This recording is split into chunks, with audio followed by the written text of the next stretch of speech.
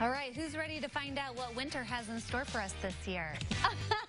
Judy Fraser is here. She's going to tell us she has the woolly worm forecast, and we sort of got uh, interrupted, had to end the segment before where we were talking about the segments of the woolly worm. Right. Uh, start sort of with what you're looking for with these pictures that have come through and what they mean. Okay, well, the, the worm, obviously, uh, as I told you, is kind of remarkable. It has these 13 segments, uh, each representing uh, a week of winter.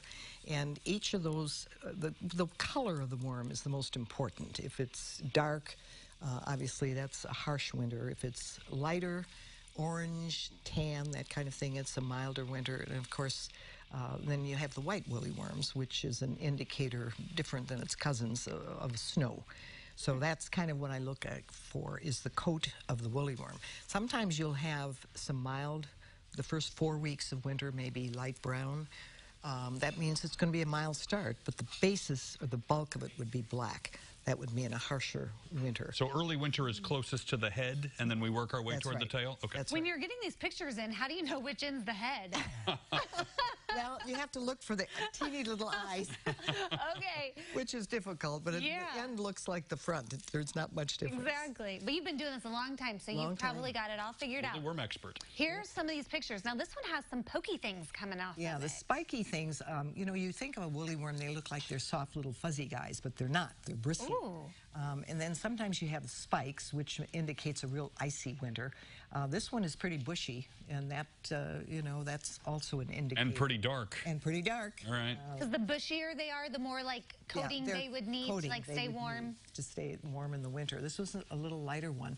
We had um, a, my first um, opportunity to see a woolly worm was in July. I and saw it was that. a yellowish white. And people have told me that um, they saw zillions of woolly worms early, like August, September. But now there's they're kind of sparse. There's there's not a lot of woolly worms. Does that which mean is- they're getting ready earlier? Does that, That- is there Does some that meaning to this? That means they're preparing themselves uh, ahead of time. Judy, I don't like where this I is know. headed. I'm, I'm not going to tell you what's happening, is. but I'm not a fan of this. Now, there's like where it is where it's dark on the ends right, and lighter in the middle. and middle. lighter in the middle, which which usually indicates a milder part, or the bulk of the winter would be mild.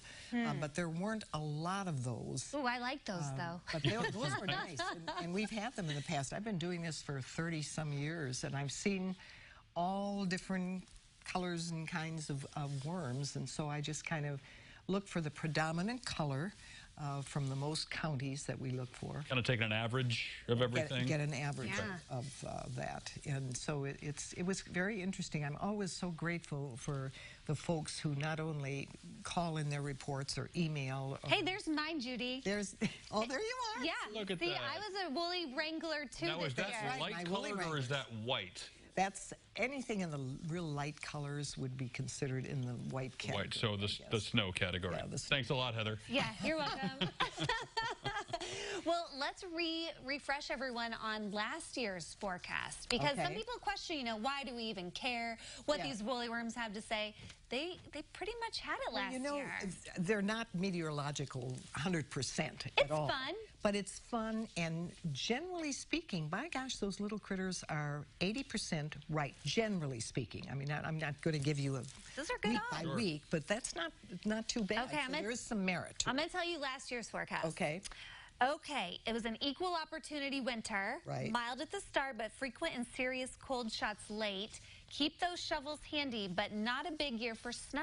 That's right. Were we we were And? pretty Pretty- spot on. We had the polar vortex, which I'm sure people will not forget, uh, late January and February, which were really, really cold. Yes. So that kind of, I said, bursts of this cold air. And we didn't have a lot of snow. I don't think we even got up to normal amounts of snow. We get these little, little two inches or three inches, but there was no blizzardy kind of weather or not a tremendous a lot of snow. We did have some ice because of the cold, uh, you know, the cold air.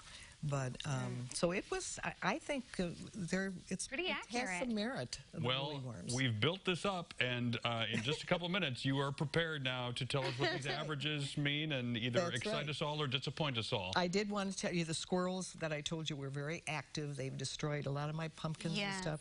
I found this in, in some of my research. It says when squirrels early start to hoard, winter will pierce us like a sword. Oh, Judy. This has been nonstop bad news.